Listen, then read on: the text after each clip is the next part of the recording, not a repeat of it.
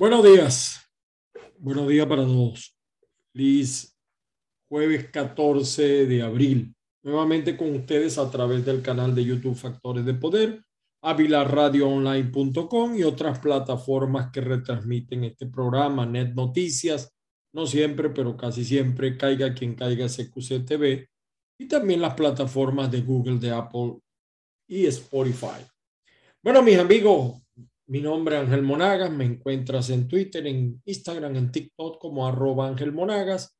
Me puedes escribir también al 561-379-5254. Hoy es jueves 14. Fíjense, este programa lamentablemente no lo estoy haciendo en vivo porque eh, compromisos laborales nos impiden estar y uno aquí tiene que pensar. A mí me gusta hablar con la verdad la verdad. Y es eso, así como ese sol, pues todos los días la luz, el sol sale para todos. Y yo siempre la verdad frente, de frente con la verdad. Las bendiciones del Padre Celestial para todos y que la fuerza los acompañe hoy, mañana y siempre. Así que si mañana de repente no hay programa, unos días faltamos, eh, yo no puedo vivir solamente de esto, yo no vivo de esto, realmente esto es un voluntariado. Este programa, al igual que los portales que nosotros dirigimos, un voluntariado de periodistas, de comunicadores, de gente que colabora. Ahora, hoy les quería hablar de una bendita manía comunista de cambiar, o sea, ellos creen que cambiando los nombres van a cambiar las cosas. Toda, yo, yo recuerdo en la historia que todas las instituciones políticas experimentaron de la, estoy hablando de la Unión Soviética y esa época antes del, del cambio que sufrió después de Leonida Brezhnev, eh, todos esos cambios que la perestroika trajo, ah, un poquito antes pues. Los acomodados dirigentes comunistas empezaron a ver en la corrupción una forma fácil y sencilla de obtener beneficios. La igualdad, por ejemplo, eh, principio base de todo sistema, se empezó a ver seriamente cuestionada por la utilización fraudulenta de la alta nomenclatura que empezaron a sufrir todos los bienes públicos. Todo funcionaba mejor, y eso también ha pasado en Cuba, para los miembros del partido. No obstante, ¿cómo combatir ese fenómeno? Sí se lo plantearon algunos comunistas. En un país, por cierto, donde la prensa estaba, al igual que como está pasando en Venezuela, con algunos bemoles allí, fuertemente controlada como está en Cuba. Eh, las respuestas pues solamente podían venir de la alta esfera, igual que ahora de la alta esfera eh, chavista. E, esas esferas, por supuesto, acostumbradas a no introducir grandes cambios, no adoptaron realmente medidas de gran calado y los soviéticos, como los chavistas hoy en día, no tuvieron más remedio que adaptarse a la nueva situación solo así se explican algunas cosas que vivió el Partido Comunista.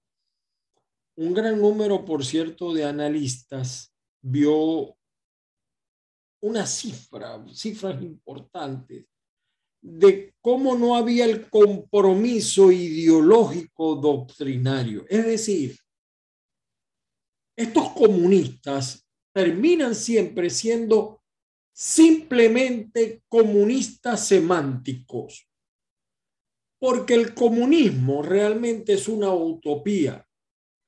Hay muchos comunistas que son más, yo diría que románticos que comunistas. Son románticos. Hay gente en Venezuela que creía que ser comunista era cantar las canciones de Ali Primera eh, y otros grupos de izquierda y, la foto de Fidel y del Che y las canciones del Che y Tania, etc. Era una moda. E, e incluso algunos hacían comunistas para que los llamaran intelectuales y usaban anteojos grandotes y andaban así en esta pose. Ser comunista era ser intelectual hoy. Mentiras. Falsedades que crecieron alrededor de los comunistas. El comunismo es irrealizable porque la igualdad no existe. Yo les voy a explicar un elemento por qué la igualdad no existe. Si tú no trabajas tanto como yo, ¿por qué tú vas a vivir mejor que yo? Pero el problema es que en el comunismo, la alta esfera chavista no trabaja, es floja, trabaja para, para la maldad y vive mejor que los pobres que largan el pelero. Por eso yo debo decir esto, ¿no? Los comunistas venezolanos son unos falsos comunistas porque ni siquiera son comunistas románticos. Son de puro verbi, de puro verbo, de pura palabra, de pura eh, mm, movimiento labial. No lo sienten, no lo padecen. Ya quisiera yo tener ese comunismo que tienen algunos comunistas y socialistas venezolanos. ¿Quién no quiere tener una tremenda camioneta, un tremendo apartamento, viajar, andar por los mejores restaurantes de Caracas? Eso realmente se puede llamar, no, no, porque ser comunista, usted puede ser comunista y disfrutar eso. Usted lo que no puede es ser funcionario en un país de gente pobre y usted vivir eso. Que haya comunistas en Francia que tomen café de 8 dólares, Está bien porque en Francia hay un nivel de vida aceptable y igual en otros países, pero los comunistas venezolanos no. Es una pose, es un disfraz. A eso les gusta el dinero más que a los adecos, a los copellanos del pasado o a los mudistas, o tanto como los mudistas, porque los mudistas también. Aquí muchos se llaman socialistas, comunistas, pero no lo son, eso es mentira. Repito, es pura pose. Ellos usan una manía, fíjense lo que hacen. Empiezan a cambiar nombre como hizo el, charlatán Chávez. Ahí están las hijas, así son, ese comunismo que tienen las hijas de Chávez sí me gusta a mí. Y los yernos de Chávez, eso sí me gusta a mí. Eh, en Venezuela no hay comunismo, eso es mentira. Ni siquiera comunismo romántico, porque para mí el comunismo es un error, es una tragedia basado en mentiras porque siempre va a haber desigualdades. Vaya a ver usted si el hijo, los hijos de Fidel o el hijo de Fidel vive igual que el pendejo de, la sierra o, o del oriente. Vaya a ver, eso es mentira. Eso es mentira. Entonces, ellos empiezan por la manía de cambiar los nombres. Entonces ya no es el Ávila, ahora es el Guaraira Repano. ¿Quién coño le dijo que era el Guaraira? Ese es el Ávila, chico. Ese es el Ávila. Y así con todo empiezan a cambiar nombrecitos y tal, porque, ah, porque ellos quieren ser más indios que los indios, que los indígenas, pero pues yo digo indios respetuosamente indígenas. Pero realmente en estos 23 años de tragedia venezolana han mejorado un ápice los pueblos indígenas y mataron cuatro o cinco Yanomami. Y han explicado eso.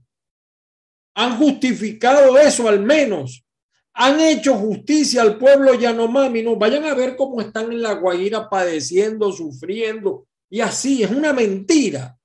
Entonces, no, porque aquí el valor de la raza indígena. Entonces, ah, porque entonces los españoles eran los malos. Imagínense, se están metiendo en análisis histórico a 500 años atrás. Están como el chistecito del hombre que se encontró un español y le cayó a golpe y lo para otro. Y chico, pero ¿por qué le estás cayendo a golpe a ese pobre español? Porque ellos nos cambiaron espejitos por oro. Chico, pero eso fue hace más de 500 años, pero yo me enteré ayer. Así están estos chavistas. Así están. Entonces, pero fíjese, lo del cambiar los nombres es una mentira, porque todo lo de estos comunistoides venezolanos estos delincuentes venezolanos que en mala hora dirigen el poder, es negocio. Es buscando el billetico. Vayan a ver ustedes cómo viste eh, Pedro Carreño.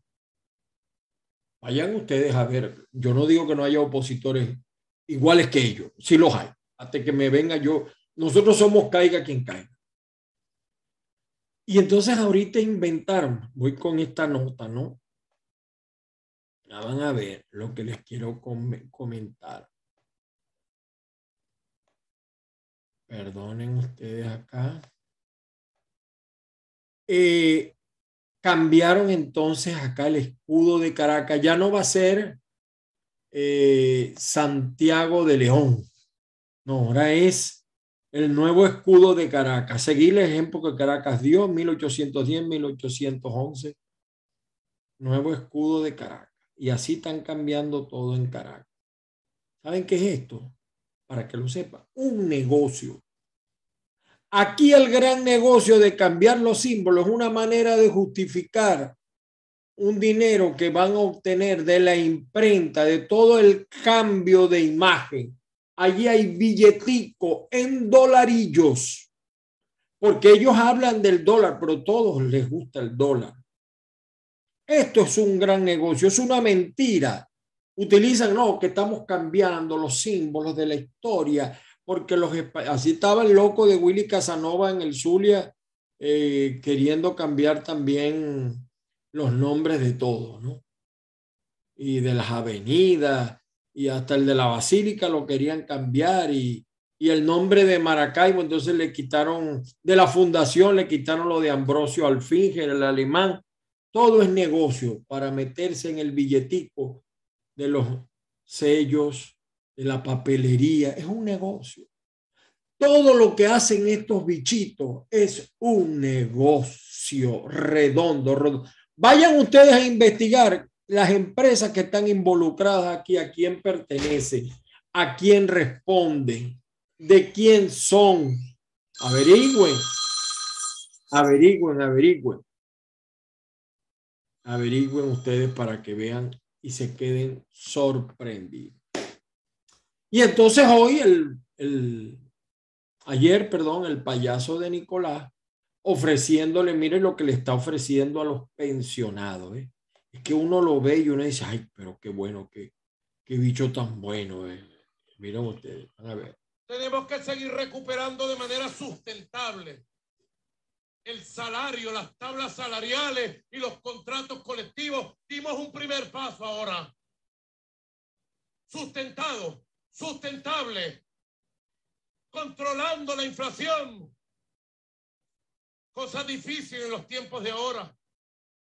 Ustedes ven que Estados Unidos y España tienen ahora índices de inflación el doble de Venezuela. ¿Qué les parece? Se les devolvió la maldad se les devolvió la maldad de la guerra económica. Aquí hay varias mentiras. Tenemos que avanzar en la recuperación de la seguridad social. Estoy preparando para el primero de mayo un plan especial para recuperar la capacidad adquisitiva de los jubilados, las jubiladas, los pensionados y las pensionadas que tanta rancha han pasado en estos años de guerra económica. Porque él está justificando toda la tragedia venezolana por la guerra económica. Y antes de la guerra económica que había, porque es mentira lo de la guerra económica, eso nada más que existe en el cerebro de él, como el bloqueo cubano. Y entonces esto, ahí, se anotan algunos payasos opositores que en Venezuela está mejorando. ¿Cómo que Venezuela está mejorando?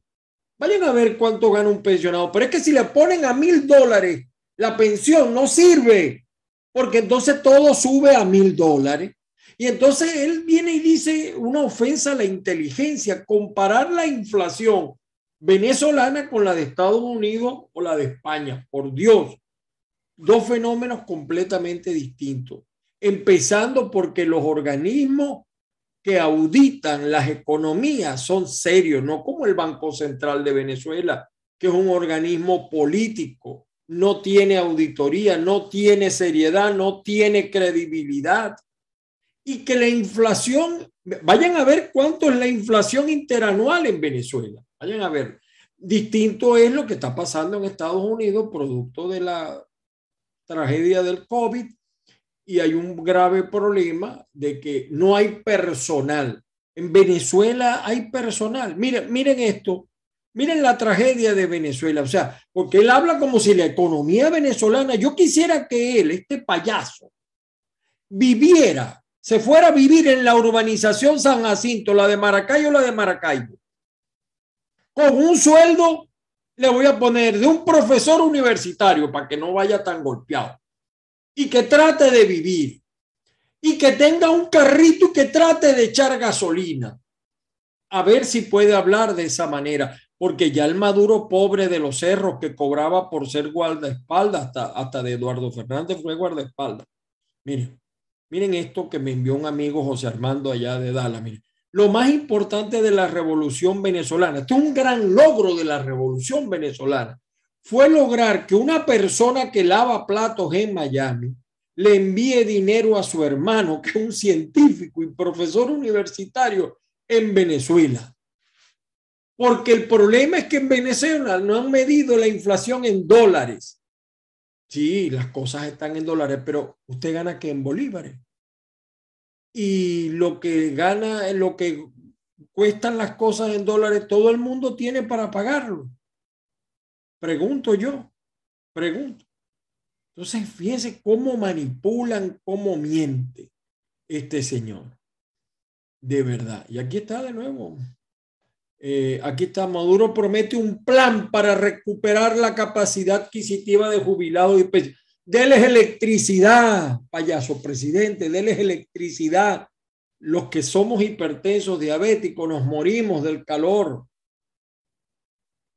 Yo no, yo no estoy en Venezuela, pero lo viví también en Venezuela. Yo también cuando estuve allá, porque tengo muy poco acá, también viví los apagones. Ustedes no saben el sufrimiento para un hipertenso. La luz está yendo hasta 15 horas al día. Entonces sale por allá un payaso. No, a mí no se me va nunca. O a mí se me va poco, porque siempre hay el jalabola, el estúpido que siempre opina así, creyendo que los demás son pendejos vaya a recuperar los hospitales. Caer en un hospital es una condena a muerte en Venezuela. No hay nada, pero nada. Ayer nombraron a director del Hospital Universitario de Maracaibo sin recursos. Lo único que hay es mística del personal, lo reconozco, pero más nada. Ahí no hay nada, ahí no hay ni gasa, nada, no hay nada. ¿Cómo se va a mejorar la capacidad? Vaya, ¿cuánto cuestan las medicinas? A ver si todo el mundo las puede comprar. Las medicinas. ¿Cómo miente? ¿Cómo miente? De verdad. Otra información que también les quería comentar, el Departamento de Estado de Estados Unidos denuncia condiciones críticas de la salud de presos políticos. Es que no debe haber presos políticos. ¿Cómo se va a ir a un diálogo con presos políticos y están en las peores condiciones? Yo no, a veces no entiendo estos organismos internacionales. Y aquí hay otra información. Paraguachón y Falcón, los destinos más demandados por los, por los maravinos en Semana Mayor. Claro, Paraguachón es Colombia. Paraguachón venezolano pega con Paraguachón colombiano. El venezolano que se está yendo, fundamentalmente el zuliano. Aquí en la plaza, un parque del Doral, llegaron venezolanos. Ahorita llegaron a Washington enviados desde Texas también un lote de venezolanos. El venezolano, la única salida que sigue encontrando per secula seculorum son los aeropuertos y las alcabalas o el mar. No tenemos ya nada que envidiarle a los balseros eh, cubanos. Y aquí dice, aquí lo trae, miren, versión final. Llegó a Washington un autobús con demandantes de asilo venezolanos. Lo fletó el gobernador de Texas, que no está de acuerdo con la migración, y se los mandó a Biden a Washington. Policías en La Guaira recibirán un porcentaje del cobro de multa. Mire, fíjese que esa medida es una locura porque ahora, ahora van a cobrar, van a andar porque eso va para el bolsillo de ellos. Pero igualito lo hace, igualito lo hace. La matraca no ha cesado en Venezuela.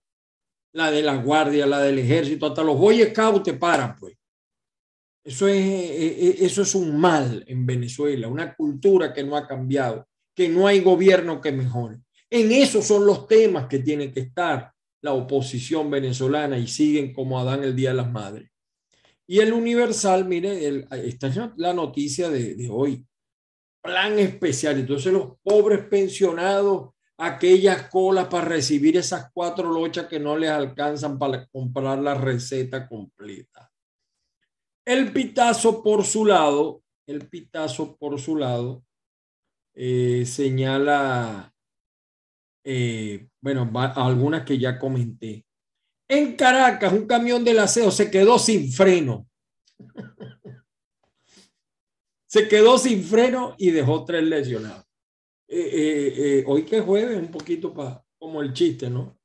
Hubo un incendio en, Miranda, el municipio de Miranda del Zulia, y un tremendo incendio en la petroquímica y todos los, cuando llegaban los bomberos y no podían apagar el, incendio, decían, llamen a los bomberos de la Rita. Venía otro organismo a tratar de apagar el incendio y no podía, llamen a los bomberos de la Rita. Y venía otro organismo a tratar de apagar el incendio, no, llamen a los bomberos de la Rita. Bueno, por fin el, el, alcalde se cansó y llamó a los bomberos de la Rita. Todo un chiste, ¿no? O una anécdota, pues yo no soy muy bueno contando chistes. Y llegaron los bomberos de la Rita derribaron la primera cerco perimetral de seguridad, el segundo, el tercero rompieron la cerca casi encima del incendio y apagaron el fuego porque llegaron encima del incendio. Entonces llega la prensa entrevistando a los bomberos. Oye, ustedes son los héroes, los héroes. ¿Qué le piden ustedes? ¿Qué piden eh, para el cuerpo en reconocimiento a su trabajo? Y entrevistan al capitán de bomberos y dice que nos arregle los frenos. Así están los organismos en Venezuela. Estos son los camiones del aseo, pero ustedes se asombrarían, las patrullas no tienen gasolina, no tienen aceite, las motos, tienen que negociar con los comerciantes, trabajan, le dan seguridad a los comerciantes para obtener muchos beneficios. Están en el desespero prácticamente, amén de los sueldos y salarios de miseria que reciben, entonces tienen que recurrir a la, a la corrupción, igual que los fiscales, los alguaciles, los jueces. La bandolera, por eso era que cobra, pero se pasaba porque les quitaba 50 mil dólares. Bandolera Andrade, la, la jueza del Zulia, se pasaba de verdad. Entonces, y aquí está, bien los caraqueños se quejan del aumento de precios de los alimentos en dólares. En dólares. ¿Ve?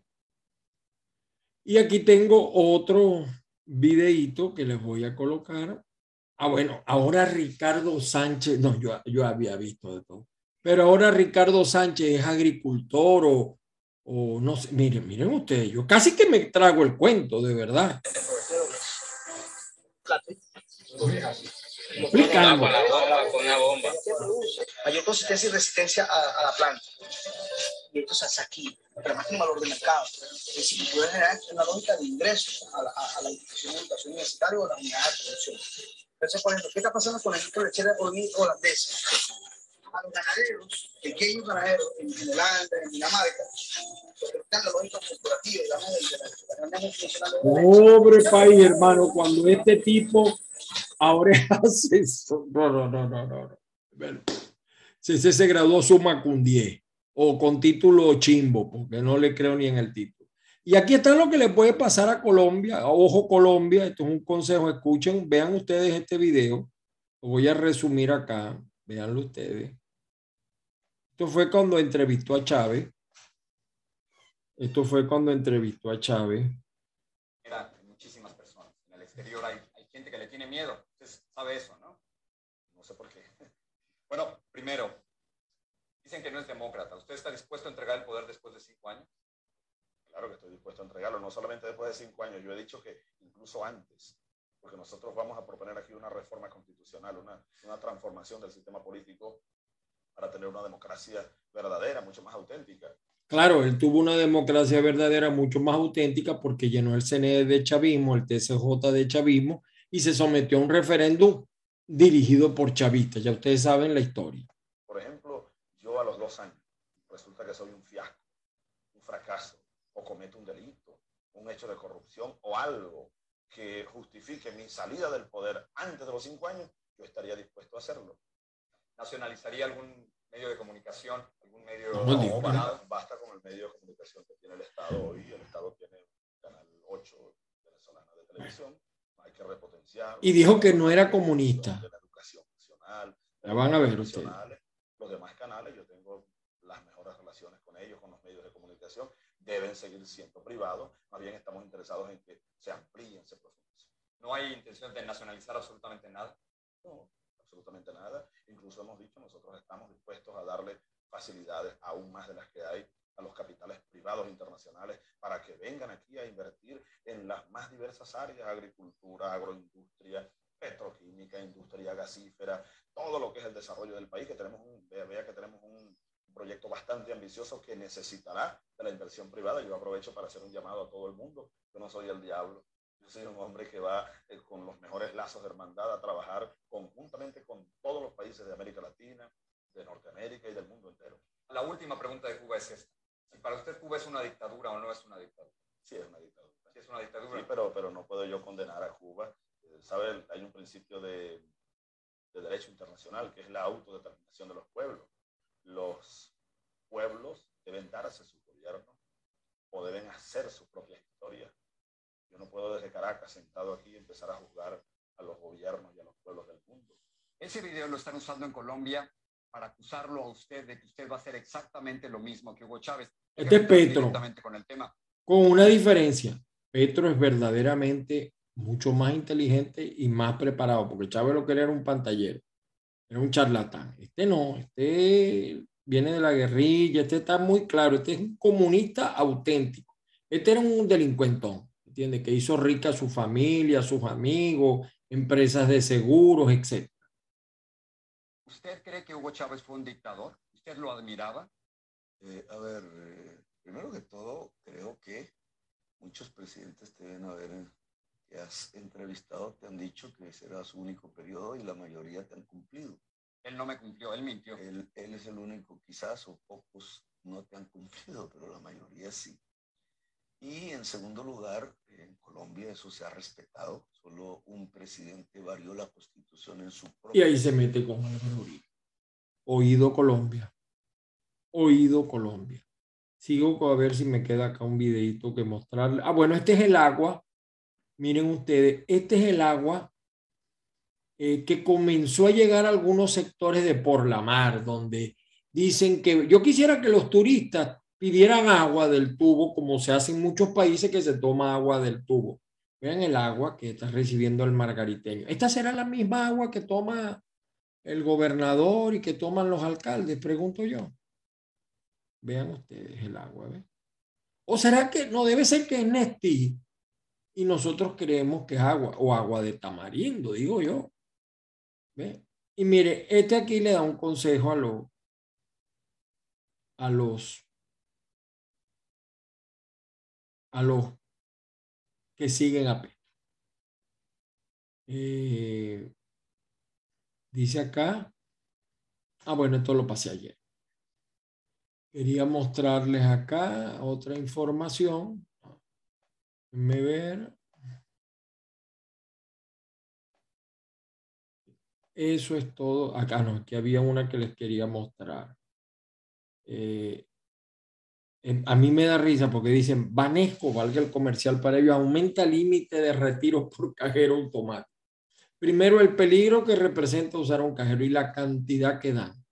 Usted se echaría a reír, igual que el límite de las tarjetas de crédito. Eso no alcanza ni para tomarse un café, ni para comerse un, no sé si todavía los venderán, una arepa de reina pepiana, no alcanza para, para, para comerse con eso que están pagando, de verdad que no. Bueno, señores, hasta aquí nos trajo el autobús, pero cierro con esto. Aún no está clara esto, la salida de Luis Justi Lugo. Los medios internacionales no así los de Venezuela, no lo reflejaron. Dicen que está vinculado a Alexad. Todavía no hay una explicación de la salida de esto. Gracias, por cierto, al interinato. Su papá es un hombre muy conocedor de petróleo, él también, pero no han explicado y mientras el que calla otorga, pues entonces le otorga beneplácito a todo lo que se dice. Así de sencillo. Así de sencillo. Queridos amigos, no, si, si podemos, mañana saldremos al aire nuevamente con ustedes. Me disculpan lo malo y por hoy es suficiente. Feliz día para todos, que la fuerza los acompañe. y las bendiciones del Padre Celestial.